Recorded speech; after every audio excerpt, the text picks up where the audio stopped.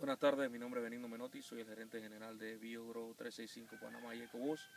El día de hoy estamos iniciando el tratamiento de las tierras aquí en este cultivo de arroz. Eh, estamos aplicando la dosis de 20 litros por hectárea. Eh, recuerden que suelo sano igual planta sana, lo que estamos buscando es reproducir o activar nuevamente la actividad microbiana y los nutrientes en el suelo para crear un mejor, un mejor producto final de sus tierras.